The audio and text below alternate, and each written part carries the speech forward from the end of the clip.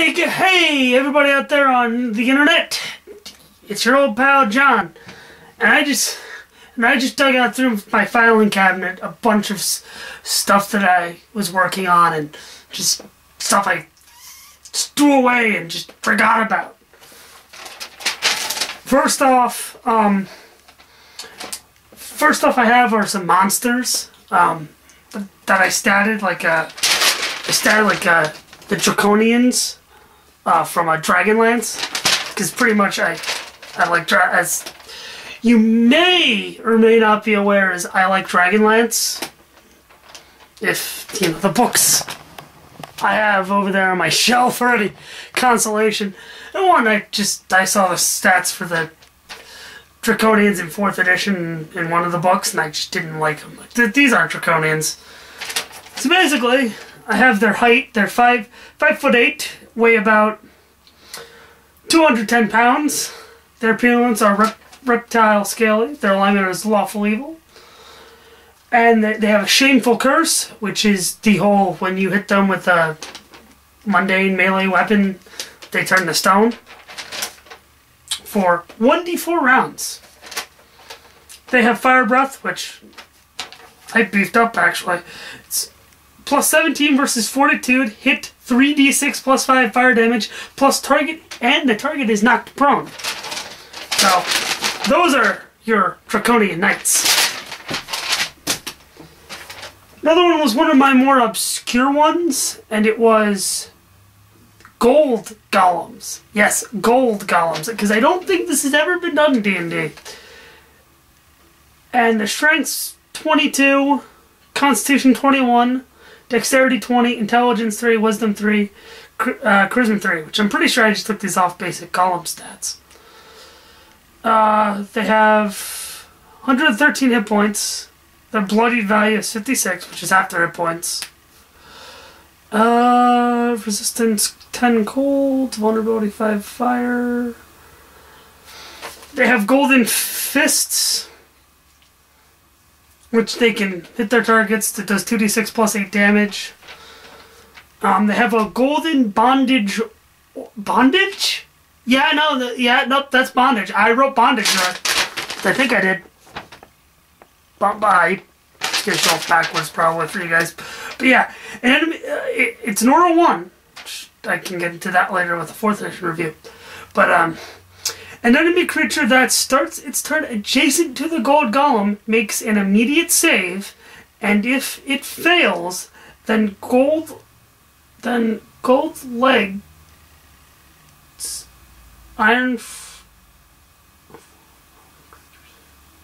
Oh, oh, okay, okay, okay. It, it basically immobilizes the person who's next to the golem. Like the golem just goes like BAM, and now the the target the like the, the adventurer can't move, like his feet kind of get sunk into gold, like cinder blocks type things.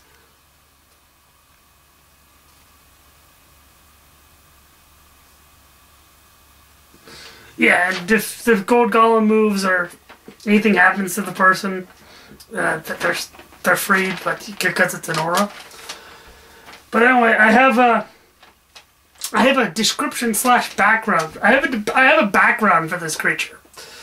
The gold golems are the product of the dwarven kings of, of, of yesteryear, who enchanted their treasure to form into a humanoid like golem to protect their treasure for, from certain invading monsters who want to take it.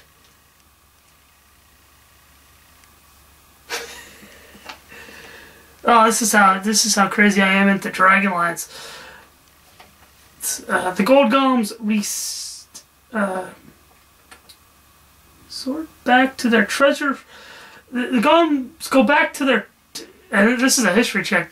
DC 35. The goal. The golems resort back to their treasure form when the special command word is uttered.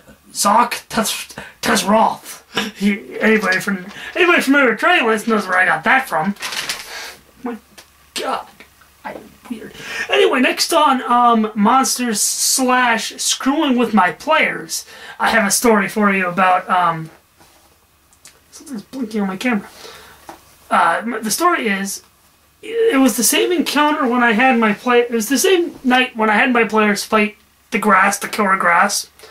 You know, the whole save versus grass thing. You know, hilarious.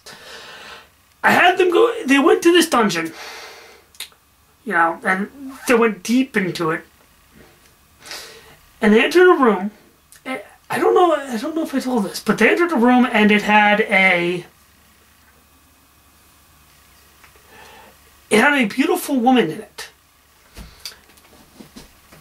And immediately I, I said to them, and, and I described to her the woman that she's all this. She's this beautiful, lovely woman. You know, big, big breasts. You know, lovely legs, long hair, long flowing hair.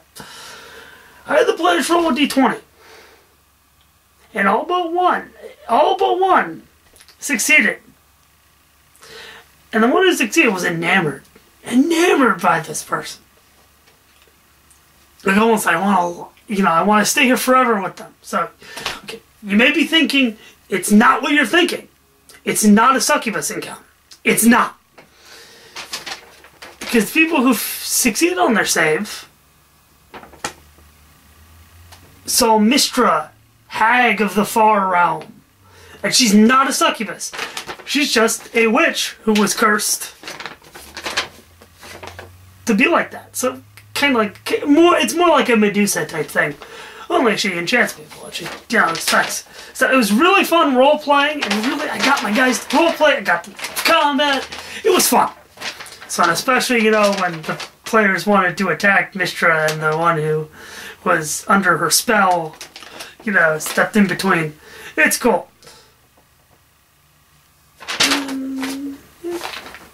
it was cool, and I drew that, and she's she's beautiful. She's probably gonna hang on my wall soon.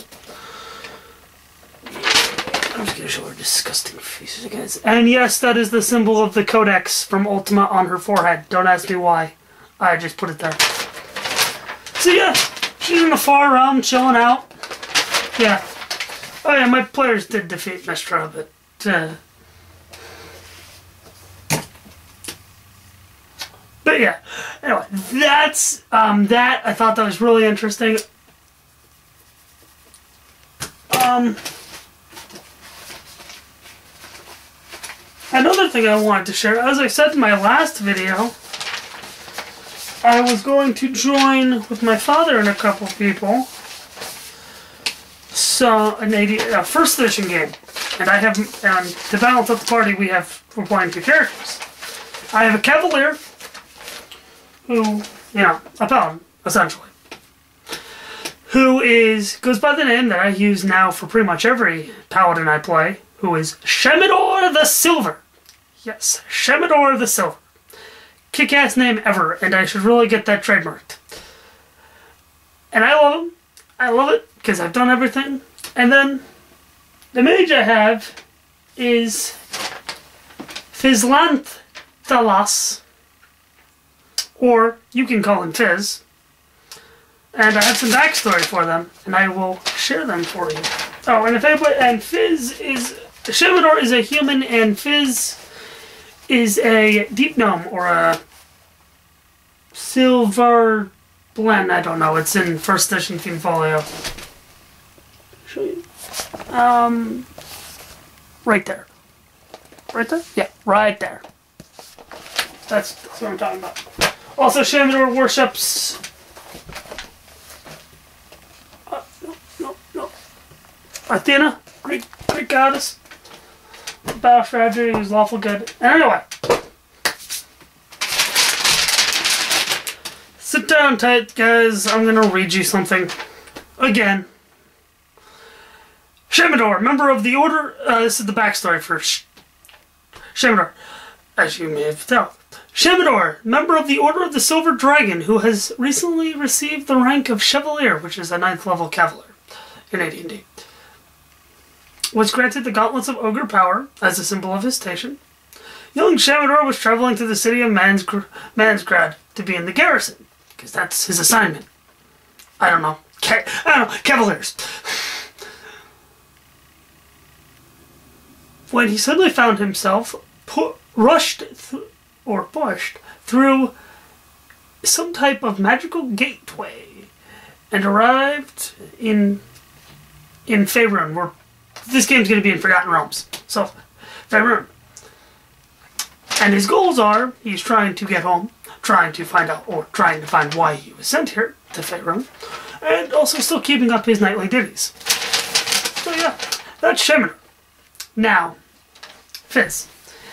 Fizlanthalos, or Fizz, as he is called by many, is a silv- uh, is a deep gnome who, due to his his pursuit of perfecting his arcane talent, took the test. Uh, once again, showing my Dragonlance, my Dragonlance fandom, to become a magic user. The test proven to be difficult, but the good old but good old Fizz managed to pass with little harm to himself. Shortly after Fizz was granted his magic license. You know, per permission to. You have our permission to practice magic. Shortly after Fizz was granted his magic license, he stumbled across a cavalier named Shamador who said he was on his a quest to bring honor and chivalry to the to the world.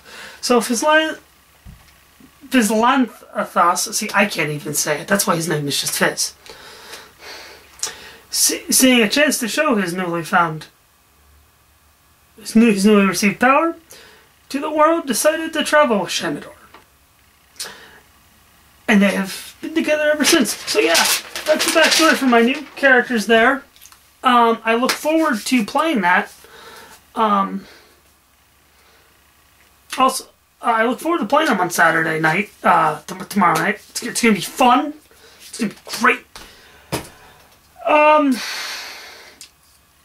do I uh, yeah, um, my next video, uh, hopefully, I'm thinking of doing how, uh, I'm probably gonna do shoot another video later to, later on because I'm really energetic and I got a lot of topics to talk about today, which is cool. Anyway, as always, I'm John. Happy gaming. See you in the next video. And remember to please rate, comment, and subscribe.